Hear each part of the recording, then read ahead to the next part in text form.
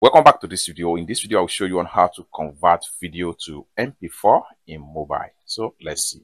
But before we dive into the tutorial, if you find this tutorial useful and you are new to this channel, remember click on that subscribe, turn on notification bell for more useful tutorial like this. So with that being said, let's get started. The very first thing you need to do, if you are using Android phone, so simply head over to your Play Store. Okay. Then on getting to Play Store, make use of search, then come to the top right here and type in video converter. Just like so and click on search. So the app you need to download is this one right here. As you can see i have already downloaded and installed this app successful after you have successfully downloaded and installed the app then let's exit from the play store.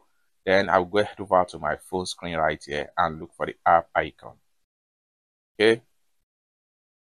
So just like so. So so this is the app right here so what I need to do is to simply click and open up the app and uh, it's load up like this. Next thing you need to do is to simply click on convert or compress. They take you right here. Then from here, you can select the video that you want to convert to MP4. Okay, so this particular video right here. So I'm going to simply select this video.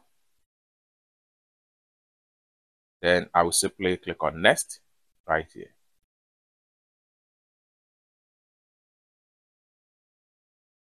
It's going to take me to this particular page. Next thing we want to do is to simply click on format right here.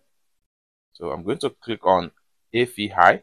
Then I'll simply switch to MP4. Just like so. Next thing we want to do is to work on the resolution. We can click on here and change the resolution to 1080 pixels if the quality of the video is not that really good. But if the quality of the video is really good, you can simply leave it in it as the original quality it is. Then the next thing we want to do here is to simply turn on this.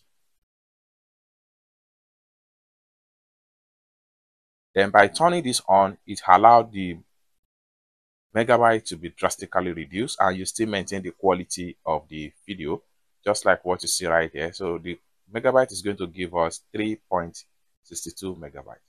Lastly, what you need to do is to simply click on convert.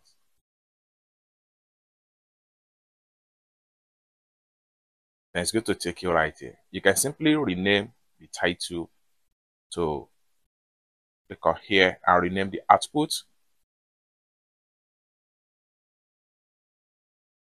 Okay, next thing you want to do is to simply click on start now.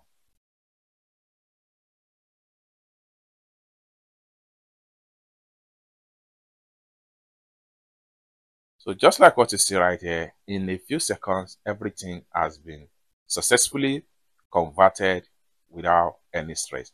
And then once it's converted successful, you can simply click on play now to check out the video and the format without any stress. It's as simple as that. So basically, this is how to simply convert your video to MP4 without any stress using just your mobile.